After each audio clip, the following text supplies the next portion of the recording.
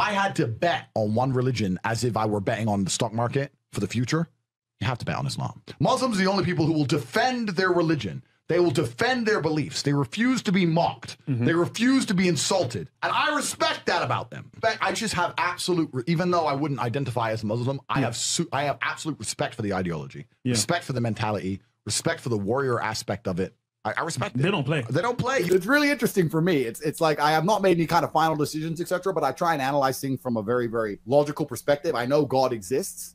And then you go, oh, say, okay, God exists, and there's all these different interpretations of God as such. But the, the only one I see which has a warrior class that people fear is Islam. That's that's the only one there